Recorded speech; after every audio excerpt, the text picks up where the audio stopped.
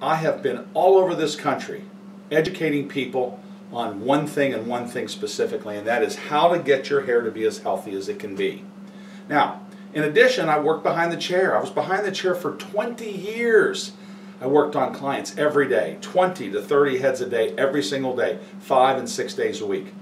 What I found is anytime someone would come to me, they had hair problems, man. Their hair was roughed up. You know, they had frizziness, hair loss, um, discoloration, uh, hair that was unmanageable and unruly.